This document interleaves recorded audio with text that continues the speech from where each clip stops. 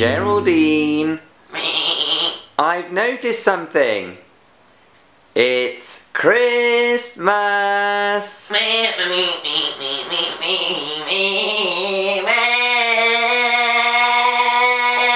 Alright, Geraldine, alright. You don't have to sing your favourite Christmas carol.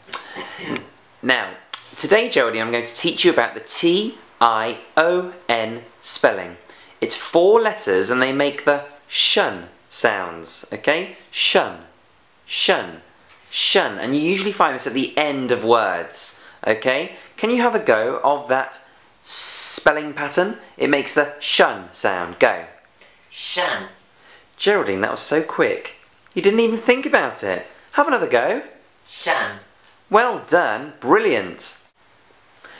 Now, go and get your little writing pen and write a list of all the words you can think of that make the shun sound. So off she went to write a list of words featuring shun. Hi Geraldine. So you've got a little list. Show me your little list. Ooh, so you've been writing down some ideas. Okay. What is what your first word, Geraldine? Nice and loud so the camera can hear you. Question. Question. Good girl. Question is a word that ends with the T-I-O-N. Brilliant. Question. What else can you find? Station. Station. Good girl. Like a train station or a bus station. What else? Fraction.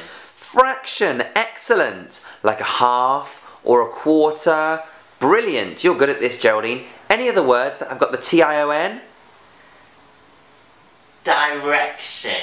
Brilliant. Just like your favourite band. One Direction. Yes, they are. I saw you singing earlier. Direction has got the T-I-O-N. Excellent, Geraldine. Any others? Any other Geraldine? What is it?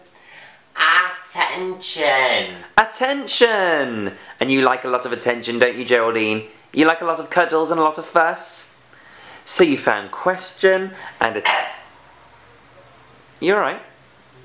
Got a bit of a tickly cough?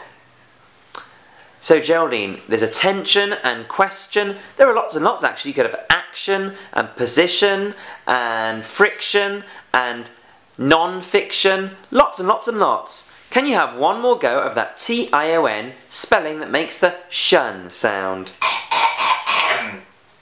Shun. And one more go. Shun. It's shun. Shun. Good girl. Well done, Geraldine.